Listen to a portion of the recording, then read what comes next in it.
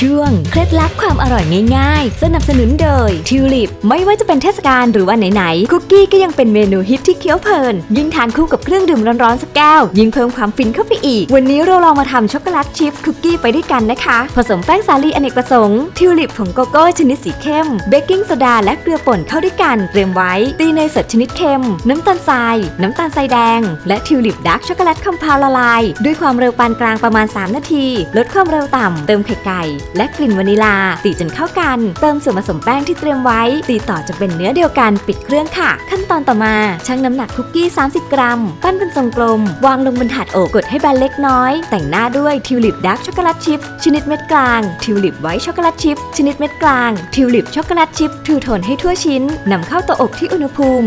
375 องศาฟาเรนไฮต์หรือ 185 องศาเซลเซียสประมาณ 15-20 นาที หรือจนกระทั่งสุกพักไว้ให้เย็นสนิทจัดใส่ภาชนะพร้อมเสิร์ฟความอร่อยให้กับทุกคนในครอบครัวแล้วค่ะ